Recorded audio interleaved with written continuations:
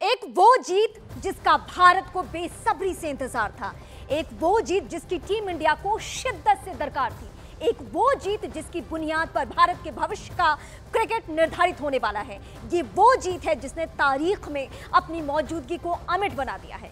11 साल से चैंपियंस की वो ट्रॉफी उठाने की हसरत, विश्व विजेता बनने की वो प्यास, दुनिया जीत लेने की वो वर्षों की आस, वो हसरत पूरी हुई है, वो आस पूरी हुई है। भारत एक बार फिर वर्ल्ड चैंपियन बन चुका है। भारत ने फिर एक बार विश्व विजेता की ट्रॉफी उठा ली है। भारत ने दिखा दिया है फॉर्मेट कोई भी हो फिफ्टी फिफ्टी या 2020 टीम इंडिया के पास है चैंपियन बनने की गारंटी तो टीम इंडिया ने टी ट्वेंटी वर्ल्ड कप जीत लिया है। दक्षिण अफ्रीका के जबड़े से जीत छीन ली है और अब बन गए हैं वर्ल्ड चैंपियन लेकिन हारी हुई बाजी को जीत में कैसे बदला गया?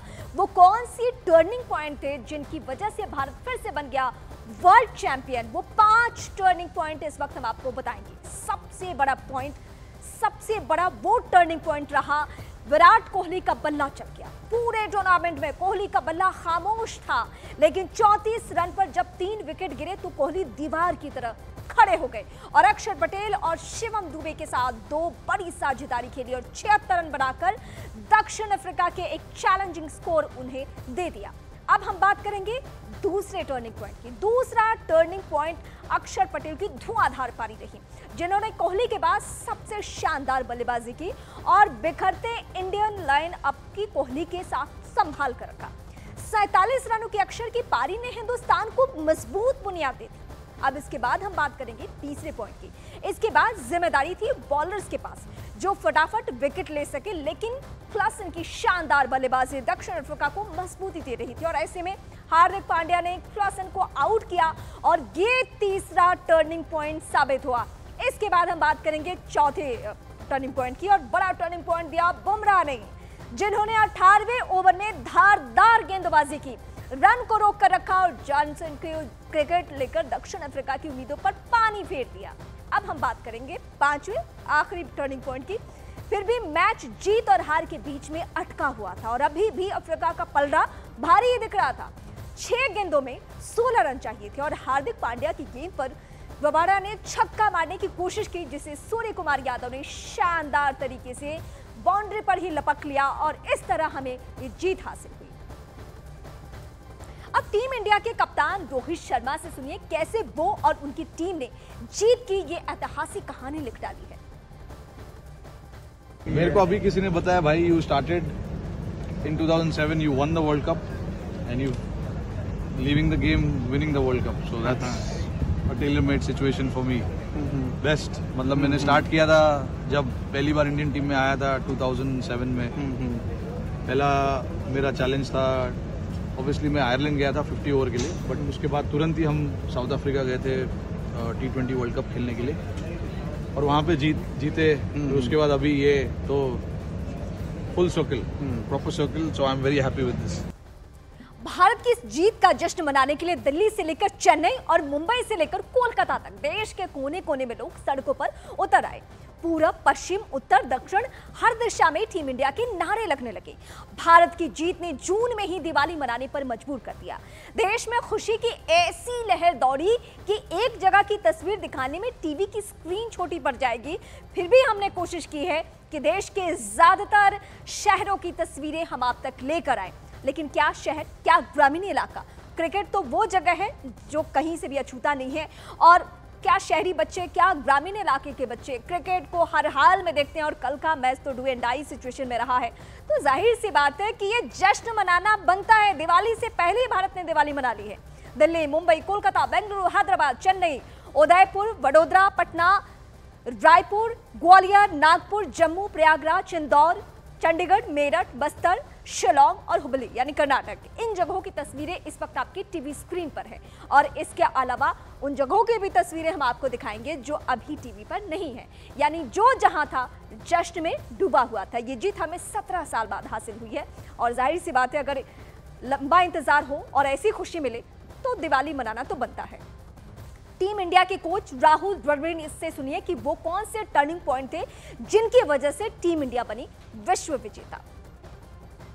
Uh, I was lucky to be given the opportunity to coach a team, and I was lucky that you know, this bunch of boys made it possible for me to be able to, to win this trophy, and uh, it's a great, nice feeling. Loved working with, uh, you know, with Rohit and this team, and कैरेबियाई देश Barbados में खेले गए इस ऐतिहासिक match को देखने पहुँचे भारतीयों का तन बन गया भारत की जीत ने उन्हें जश्न में डुबो दिया न्यूज़ 18 इंडिया से बातचीत में लोगों ने अपनी खुशी ज़ाहिर की है batsman win matches but bowlers win tournaments कैसा लग रहा है मैच जीत के? मज़ा आ गया? आना सफल आना सफल हो गया? नंबर वन नंबर वन मज़ा आ गया? मज़ा पूरा मज़ा लिया मज़ा आ गया। दिल खुश हो गया। इतना लंबा हमने ट्रैवल किया। आना सफल हो गया। और it was a awesome match जो स्काई की कैच स्काई में थी ना Sky in the sky was the super ICAI ने आज जश्न मनाया, टीम इंडिया की जीत को लेकर और दिल्ली में टीम इंडिया की जीत पर यह जश्न की तस्वीरें हम आपको दिखाने जा रहे हैं। खुशी में चार्टेड अकाउंटेंट गाने की धुन पर जमकर थिड़के वर्ल्ड कप जीतने के बाद जगह जगह इंडियन टीम को बधाइयाँ दी जा रही हैं। हमारी मौजूदगी आईटीओ पर है, जहाँ मेरे पीछे सीए हैं, जिनका आज रन फॉर विकसित भारत है। सीए रन फॉर विकसित भारत, लेकिन यहाँ पर ये पहले कॉन्ग्रेचुलेट कर रहे हैं। टीम इंडिया को आप देखिए, किस तरीके से यहाँ पर चकते इंडिया पर अभी डांस होगा, आप तस्वीरों में देख सकते हैं किस तरह से चकते इंडिया पर डांस हो रहा है। यहाँ दरअसल भारत ने दूसरा वर्ल्ड कप जीता है और पूरा देश इस वक्त जश्न में डूबा हुआ है। मैम, एक बार बताइए, क्या कहना चाहेंगे आपकी रन फॉर यूनिटी थी, लेकिन आप वर्ल्ड इंडियन टीम को कॉन्ग्रेचुलेट करेंगे। यहाँ पर कर रहे हैं मिस्टर चड्ढा जी हैं vice president sir Indian team world cup जीती है। बधाई देना चाहेंगे, क्या कहेंगे? इंडिया हर फ्रंट पे जीत रहा है चाहे वर्ल्ड कप हो, चाहे ज़िंदगी का हर फ्रंट हो। और लीड कर रहा है प्रोफेशन कल सीए डे है, और उसके लिए हमने आज विकसित भारत की दौड़ लगाई है। तीन ओवर में तीन विकेट लेने वाले हार्दिक पांड्या की गेंदबाजी ने टी ट्वेंटी वर्ल्ड कप में भारत की तरफ़ रुख मोड़ दिया। हार्दिक से सुनिए जीत की दास्तान। तो जीत गए तो आई एम श्योर इवन मैंने अगर ज़ीरो भी किया हो तो मैं खुश होता क्योंकि मैं हमेशा मानता हूँ कि अगर जब तक टीम जीत रही है इंडिविजुअल परफॉर्मेंसेस कुछ मैटर नहीं करते हैं। डेफिनेटली लेकिन अगर आप अच्छा करो और आपकी टीम अच्छा कर पाए, वो बहुत स्पेशल फीलिंग है और ऑब्वियसली जहाँ जब जब भी मौका मिला मुझे you know it was great that I was able to do something contribute कर पाए और हमेशा आई थिंक मैंने क्रिकेट हमा, मेरा हमेशा ऐसे ही खेला है। Uh, जब भी मौका मिलता है आप करो छोटा भी अगर रोल हो अगर एक ओवर भी डालना है आपका बेस्ट एक ओवर डालने की कोशिश करो। उसमें मोमेंट्स बनते हैं आई थिंक वो भी आज भी वैसा ही था। Uh, कोशिश थी कि एक बढ़िया ओवर डाले सिचुएशन के हिसाब से और आई थिंक वहाँ से गेम चेंज हुआ और uh, जहाँ थे वहाँ से जीत गए बहुत। पीएम मोदी ने टीम इंडिया को फ़ोन कर जीत की बधाई दी है। रोहित शर्मा को उनकी शानदार कप्तानी के लिए पीएम ने बधाई दी। साथ ही पीएम मोदी ने फाइनल में विराट कोहली को उनकी पारी और क्रिकेट टीम में उनके योगदान को भी सराहा। पीएम मोदी ने हार्दिक पांड्या, जसप्रीत बुमराह और सूर्य कुमार यादव की तारीफ़ की है। साथ ही पीएम ने भारतीय क्रिकेट में योगदान के लिए राहुल द्रविड़ को भी धन्यवाद दिया है। इंडिया को तो रोहित शर्मा को शानदार कप्तानी के लिए बधाई दी। विराट कोहली की भी तारीफ़ की क्योंकि साथ साथ उन्होंने टी ट्वेंटी फॉर्मेट से संन्यास ले लिया है। तो क्रिकेट में उनके योगदान को लेकर भी टीम आ, इंडिया को लेकर टीम की जो भावनाएँ रही कल देर रात में हमने देखा कि उन्होंने एक बकायदा वीडियो साझा किया टीम इंडिया के हौसला अफजाई के लिए और आज बकायदा सभी इन चेहरों से बातचीत की बधाई दी। लेकिन इस बीच देर रात उन्होंने कहा क्या था वीडियो के ज़रिए? सुनिए पहले आप। टीम इंडिया को इस भव्य विजय के लिए सभी देशवासियों की तरफ़ से बहुत बहुत बधाई। आज 140 करोड़ देशवासी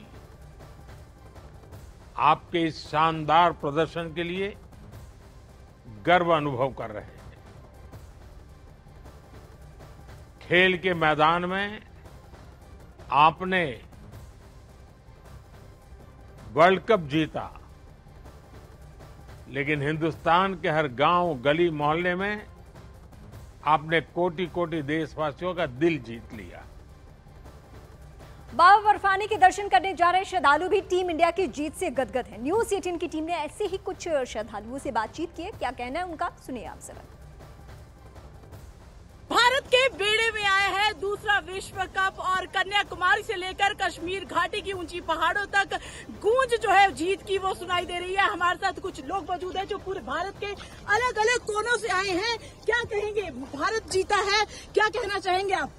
बहुत अच्छा लगा जी क्योंकि हम कल बाहर हम, हमने आना था यहाँ पे लेकिन हमने वर्ल्ड कप देखा पहले तो रात को बैठ के बाल में उसके बाद हम यहाँ पे आज सुबह के लिए आए हैं। हम रात को डेढ़ बजे तक पहले वर्ल्ड कप देखा और ढाई बजे उठ के नहा के फिर सीधा यात्रा स्टार्ट करी। मतलब रात भर जागे हो क्योंकि भारत का मैच भी था विश्व कप जीतना था और ये एक एक्साइटमेंट थी। एक्साइटमेंट है भारत की घाटी में आए हैं भारत के जन्नत में है हम। बिल्कुल बिल्कुल। भारत के ताज के पास थे बाबा बर्फानी के दर्शन भी हो रहे हैं जीत की खुशी भी हो रही है। बाबा के दर्शन भी करने करने थे और साथ में मैच की भी, जोश था खुशी थी। भारत वर्ल्ड कप फाइनल में पहुँचा और वर्ल्ड कप जीते ताकि हमारी खुशी डबल हो सके और बाबा बर्फानी के दर्शन भी कर पाए। देखिए, जीत की खुशी इतनी थी कि रात भर जाग के मैच भी देखा है और फिर दो बजे आके लंबी लंबी कतारों में लगे हैं क्योंकि आज बाबा बर्फानी का दूसरा जत्था जो है वो गुफा तक पहुँचना था और लोगों ने यात्रा अपनी जो है वो पूरी करनी थी। तो एक बार फिर से जो आपको बता दूँ कि भारत की जो जीत है कन्याकुमारी से लेके कश्मीर घाटी तक उसकी जो गूंज है वो सुनाई दे रही है तो फिर से हो जाए एक बार।